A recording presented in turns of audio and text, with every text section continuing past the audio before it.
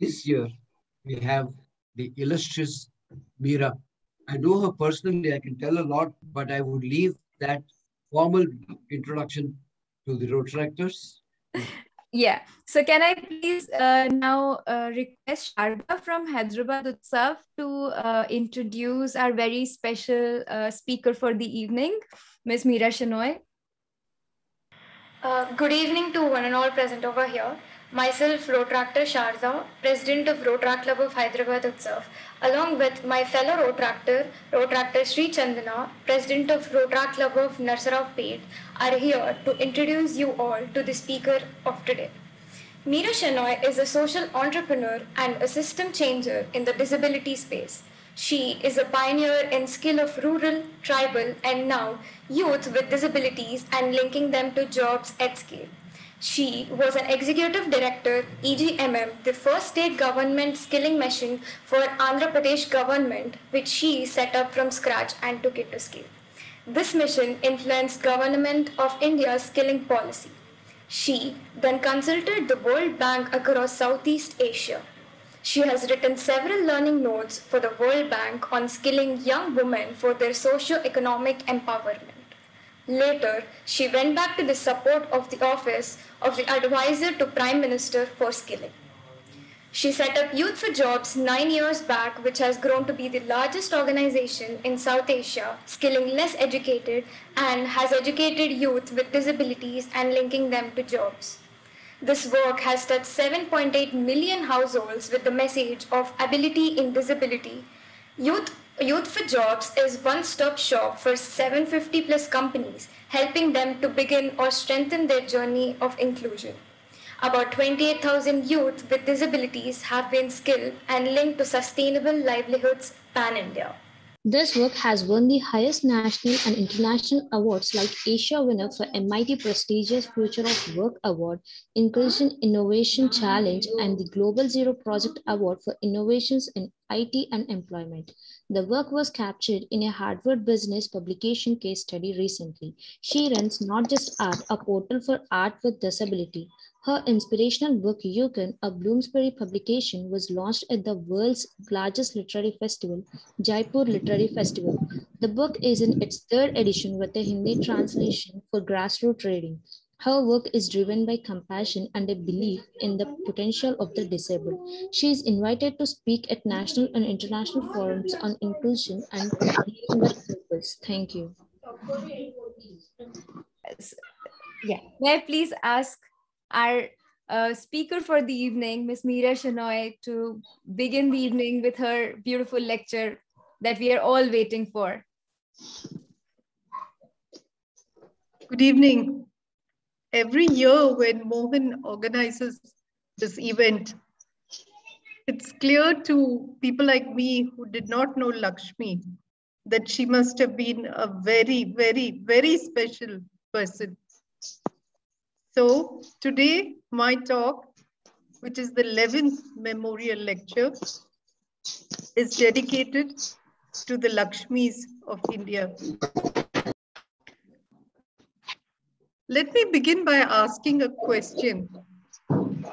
What is common to Lulu on a wheelchair, Kiran, who's visually impaired, and Kameshwari, who cannot speak or hear. Yes, all of them have a disability. All of them are from relatively poor families. But can you notice that all of them are smiling? The reason? They have the unimaginable, a good job and money in their pockets. Unlike most of the other girls with disabilities who are miserable in their villages, families think they are one more mouth to feed, a liability. These three are now an asset to their family. Let me just give you a glimpse of their lives. Kiran is the daughter of a mill owner from Surat who migrated to Bihar every time she opened her mouth, she was told to shut up Because after all, she's a girl, and on top of that, she's blind. She came to our training center. We put her in a retail job. I remember her manager telling us that on days where it poured and most of the other girls didn't turn up, Kiran was there and she managed the entire floor. Today, on her own, she has taken up a job in Samsung. Her father has lost his job, and it's her salary and income that runs the entire family. She has acquired a new confidence, speaks the little English we taught her, and the entire equation of the family has moved upside down with this job and economic empowerment. Lulu is an orphan adopted by her parents. But as her mother grew older, she was really worried because the rest of the family did not want to look after her. Lulu came to us and would send a message every day, every morning, I remember, in my mobile saying, Still no job, ma'am, still no job. And yes, companies were not willing to take her because she's severely disabled. My team was persistent and we put her in a job which gives her the princely sum of an annual salary of 3 lakhs. Not just that, one of the companies donated her an electronic wheelchair. She's completely independent now, weeding herself round the house to the office. And her mother blesses us every day, saying now she can die in peace. We put Kameshwari in the Google Facility Center. When she was when she had worked there barely for three months, Anna, who heads globally the retail in IKEA, had financed her trainings. So Anna SMSed me saying that she would like to meet Kameshwari. I actually was so nervous that I decided to go to the hotel along with her. But I was amazed at the kind of confidence Kameshwari had acquired in just three months on her job. As Anna showed her a photo album, she asked her all those simple womanly questions like, are you married? Do you have a baby? If not, why not? And then I got the message, which I get again and again and again, that a job is not just a job. In the villages of India, still, if you're a girl and you're disabled, they think it's a curse on the family and hide you in the home. They're worried that the other sibling may not get married. Since the community thinks they are useless, the families do not educate them. So their literacy levels are low. In fact, we work at a government girls blind school at Malakpet in Hyderabad. I don't know how many of you have been there. We teach them English because the school is vernacular. We teach them JAWS, which, which, which is the um, software so that they can actually know computers. It's a talking software, which allows them to know all what is there in the computer, go around the web, and their knowledge improves what the teachers tell us is that the parents do not actually send the kid back to school after the summer holidays, or many of them just keep them in school when they're supposed to go back home for the holidays. Can you imagine what their levels of confidence are? We have a music teacher there, and they sing so beautifully Annamacharya Kirtanas, we take them for picnics. And I'm happy to tell all of you that this rounded education, all the girls passed and they went into English medium schools, which means better employability. But this is not true for the others. The low literacy naturally means low employability. And many of them just work in the unorganized sector where the work conditions can be very exploitative. Not that these young girls are not enthusiastic to get skills.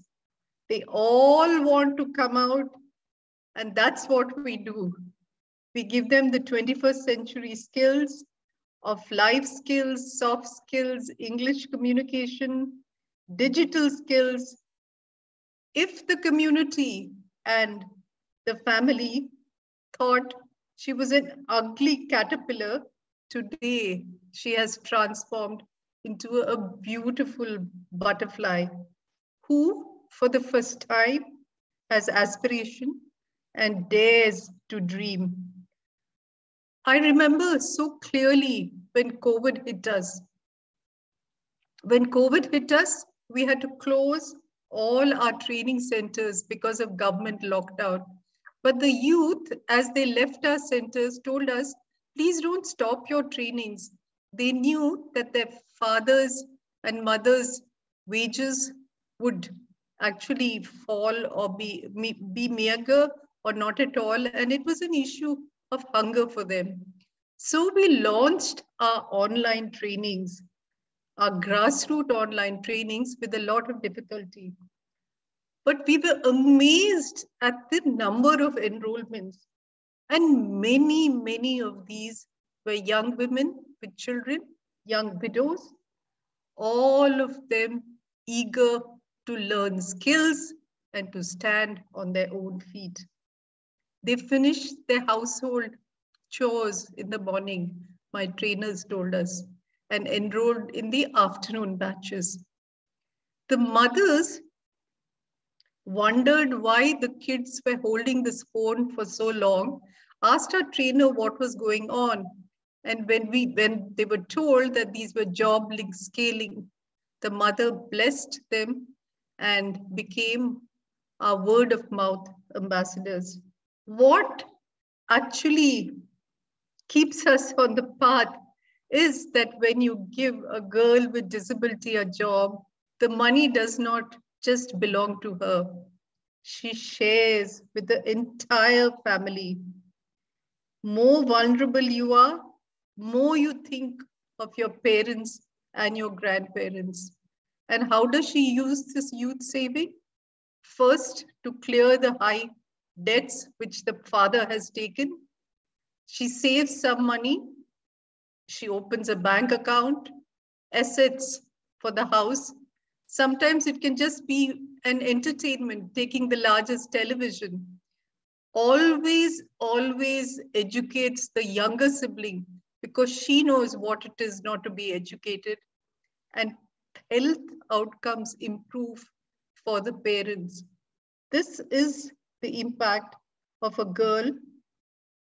And that is why I tell in all my training centers, studies on our work has shown that a job to a young member of a poor family takes the entire family out of poverty in a sustained manner. We struggle hard to make sure at least 30% of these are girls so that we can have this kind of impact. We remain on the path despite challenges because we see this transformation every single day. We work with about 900 companies, but I must tell you, the companies don't naturally take these girls or boys. Our mantra is hire these youth because it makes business sense not out of pity or empathy. And we del deliver a whole range of services to make sure the ecosphere is sensitive before the youth is hired so that the youth is productive. There's accessibility in infrastructure and workplace, that the supervisor, supervisors, managers, board members, everyone understands disability. And you know, the best way for anyone to understand is to actually experience the disability.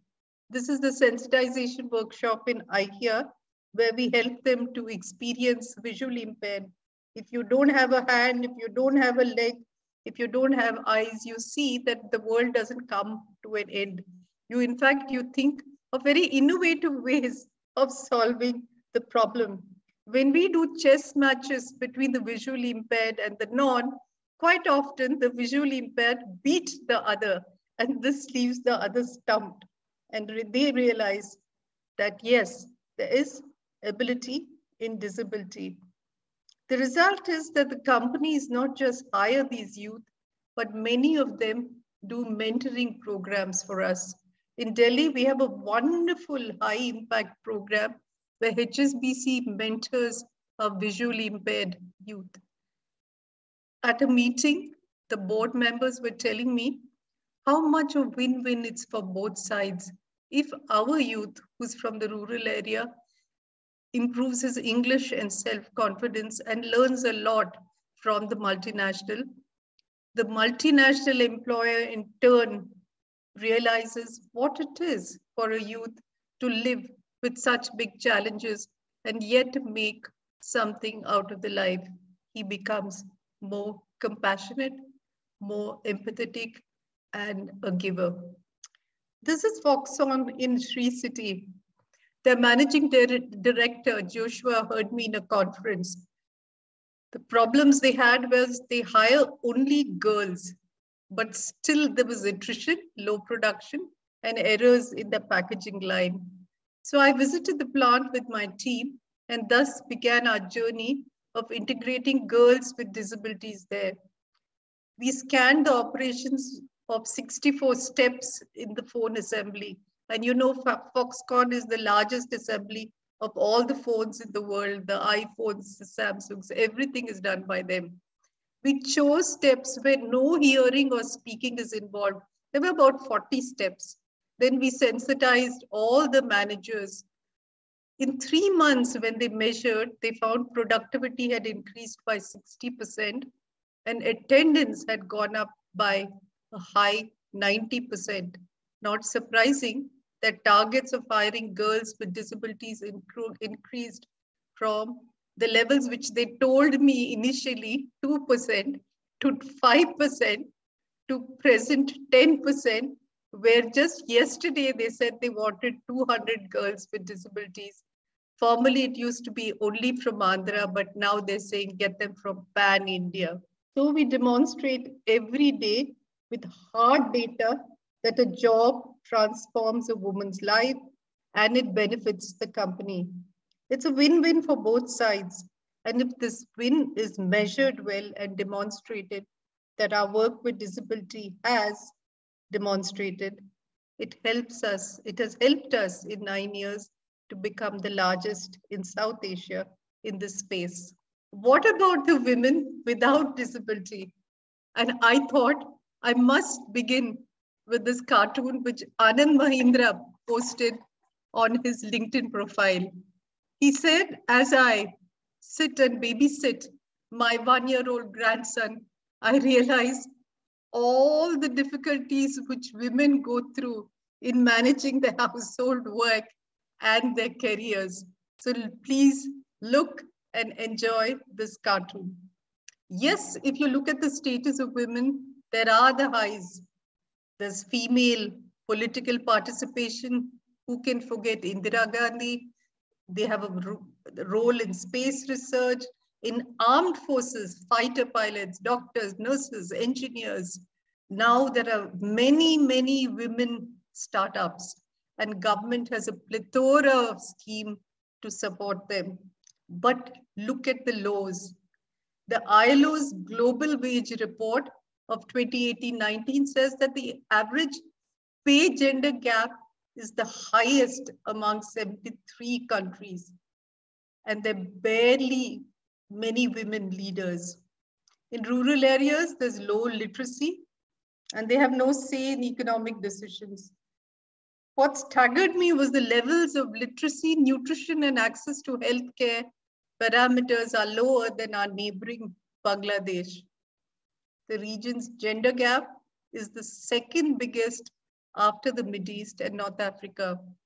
As you look at this, you really wonder, are there pathways to pull them out of this vicious cycle in which many of women are in? So internet, digital empowerment is indeed one pathway. And I'm presenting to you a story of which was done by Google called the Internet Saathi. Only one in 10 internet users is a woman, So they ask themselves, can we take up to four? And this is the story.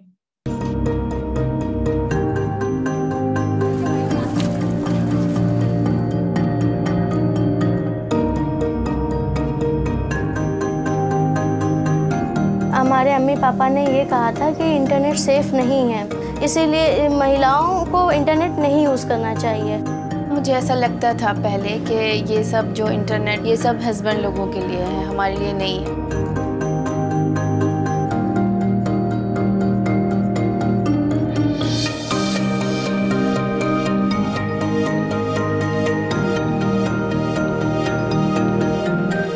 क्षेत्र में बालिकाओं को generally आठवीं के बाद parents पढ़ाते नहीं हैं। भीलवाड़ा डेयरी ने गूगल के साथ मिलकर उन बच्चियों को इंटरनेट जागरूकता अभियान के तहत प्रशिक्षण दिया गया। Used the internet for the first time have really transformed their daily H W G O campaign मैंने अटेंड किया था। उसके बाद धीरे धीरे मेरी जिज्ञासा इंटरनेट के प्रति बढ़ती जा रही है। इंटरनेट से सीखी मैं डिज़ाइन जब नई नई डिज़ाइन बना कर गिराई खाना दिखाऊँ तो और हमारा गिराई की बढ़ती है सिलाई भी बढ़ती है। While we have made huge progress in the number of urban women who are coming online, we are still struggling in terms of the rural women who we can get online.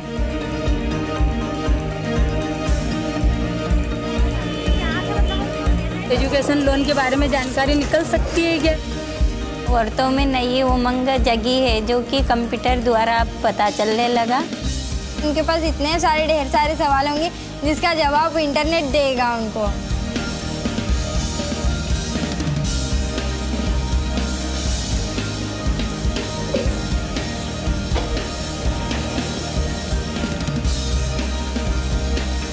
पूरे भारत देश में लड़कियाँ और ladies इतनी आगे बढ़ जाएगी कि उसका अंदाज़ा भी नहीं है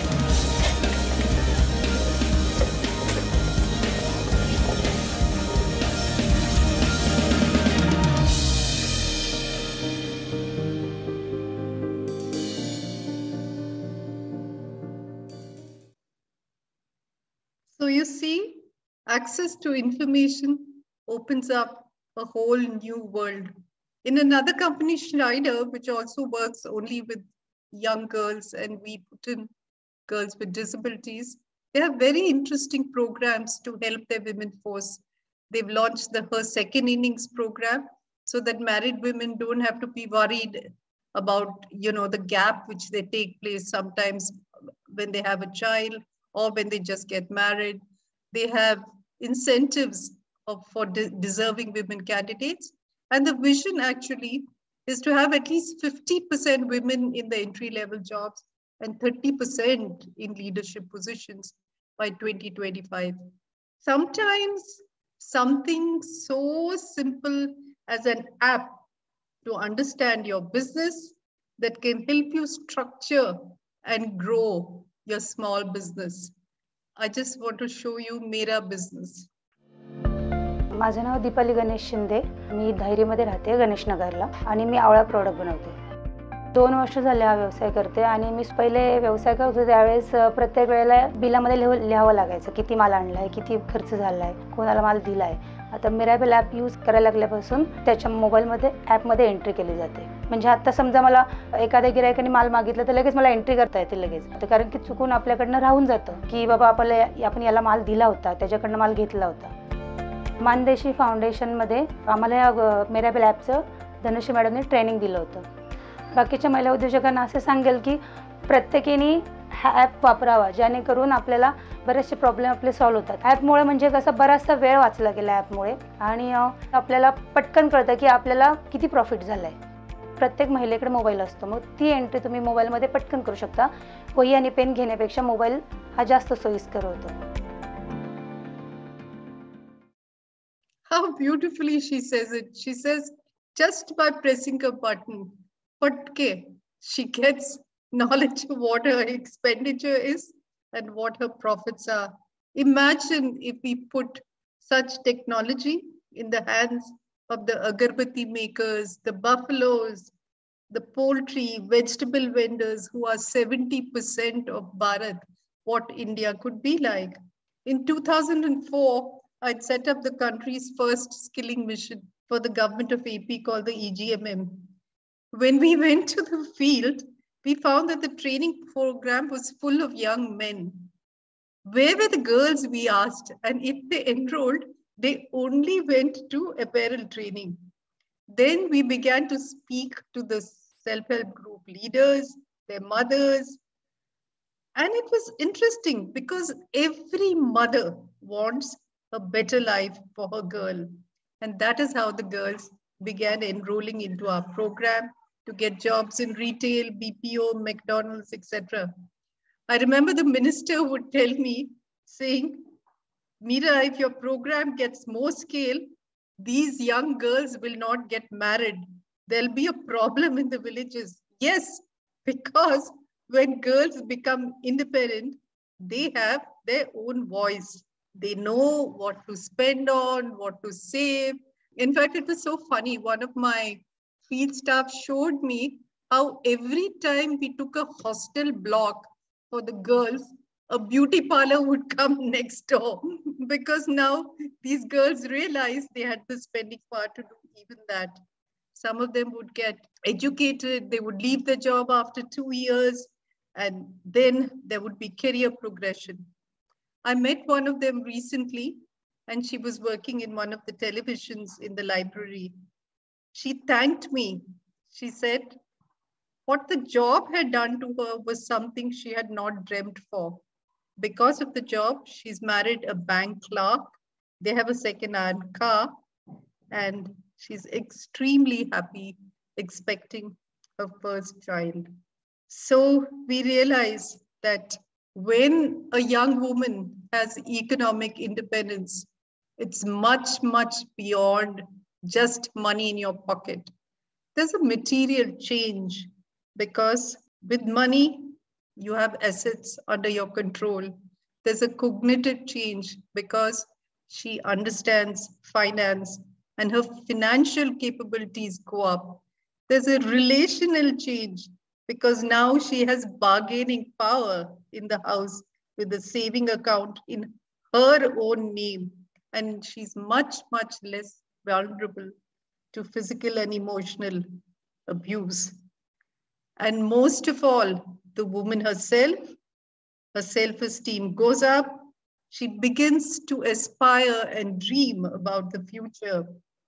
She has control over her body and her resources, and she makes definite choices in her life. In the organization I set up, Youth for Jobs, I too, as a woman, have always dared to dream in a very, very challenging space in COVID times, I realized that we needed to somehow highlight the effort of these young men and women for the struggles they had undertaken to enroll in our trainings, to attend the job interviews, and to get a job. Some of them traveled on truck tops because there were all these various traffic restrictions. They borrowed shoes and shirts from our trainers to get their jobs. So what we did was a coffee table book called COVID 50 Real Life Stories, designed by the best of designers and the best of printers.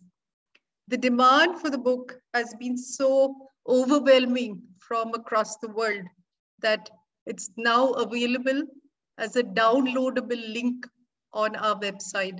I would like all of you to download the book and read it for yourself to get inspired by the stories.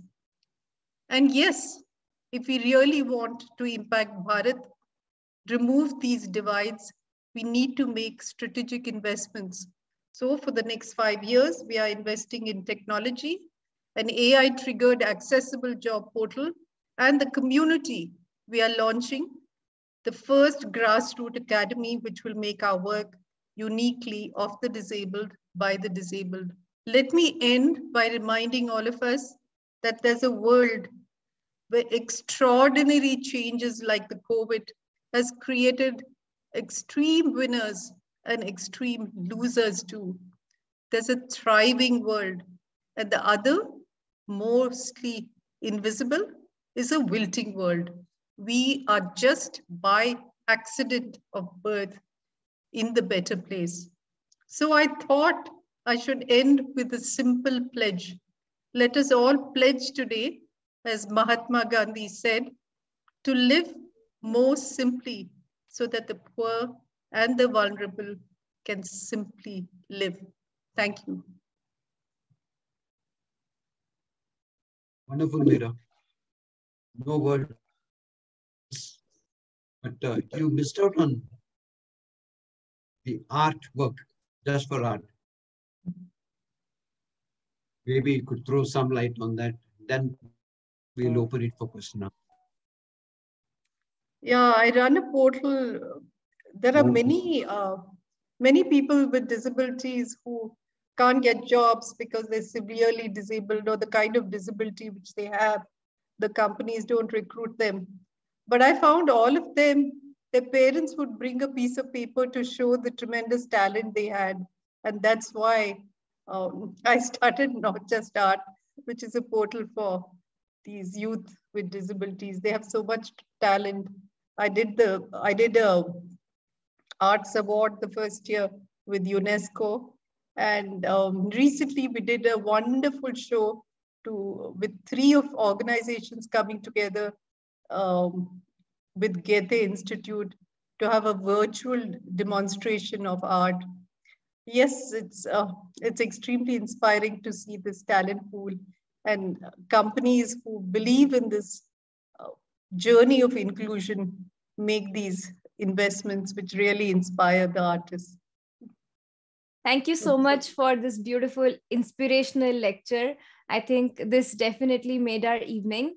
Um, I am I, I would say that we are now open for Q and A. So if anybody has any questions, uh, we can do it by the raise of hands and we can unmute them. Or if you would want to put it in the chat box, even that's okay. Yeah, Lavanya raised hand. Yeah. Good evening, Yes. ma'am. Um, this is Lavanya. It was wonderful listening to your thoughts and the amazing work that you've been doing uh, of late. Uh, I just have a small query. Uh, whenever we've been speaking about upskilling women, um, tailoring and beautician courses are the only things that uh, uh, that keep coming back again and again to haunt us. In fact, it's like it's a, it's like a taunt now. In fact, uh, when uh, this year when uh, uh, Mohan sir said that uh, he wanted to donate a few more machines. I said, what is the relationship between men or I mean, why women and stitching are so related? Why not other things? Uh, in what way do you think as um educated women we can do to encourage more professionals out there? I mean, it's not enough to just have beauticians and tailors. We need more what can we do or what should we do? I'm an hr and a learning and development specialist uh, myself. So i keep this keeps coming back to me. Yeah, I think uh, one of the issues which are there is education. So, you know, I think the kind of work which Mohan is doing in ensuring that these girls um, have a career path is nice because generally among the rural poor, if there are two people to finance, always the boy gets educated and the girl gets left behind. Inevitably, the story is the same everywhere, you know. Um, and this low literacy actually results in the kind of jobs which they get are also low. And uh, sometimes there's a career path blocking because of the lack of literacy. So I think we, in fact, ourselves now really are investing in getting people into higher education so that you can broaden the pipeline of availability of youth who can get into IT and banking and other companies. Um, so I think that's extremely important. Uh, so scholarships would be, you know, one natural answer. But second is, I think now what COVID has done, and I must really compliment companies. Companies work in myriads of ways, you know, with us. They're constantly asking, saying, what can we do? What can we do? With Google, we have the leaders, in fact, um, working with some of our, you know, less educated youth uh, they work with. We have a very large, I think it was a five month program which we had. Uh, so there are, I mean, I'm just mentioning one or two, but I think that if anyone asks me what can I do, my question is, you know, what can't you do? Okay, the world's your oyster. If you have money, you can do everything. And you ask me, I always tell people, don't ask me, how can I help? Because I take you seriously and will tell you five ways in which you can help. Okay. I don't know if I answered you. Lavanya, I'm one of them. She asked me, only I couldn't do it. Hmm. the other way to answer Lavanya is a very simple action. Your future is where your time goes. You spend time, your future comes there. You spend time, people will come looking for that particular problem to you. This I'm talking out of experience. The first few years, I used to reach out, can I help this girl? Can I help that help that girl? Honestly, today I have reached a stage where people come with requests, internet, word of mouth, from the teachers, and I am now finding it difficult to help each and every student that comes. I want to do it. God willing, we will do it.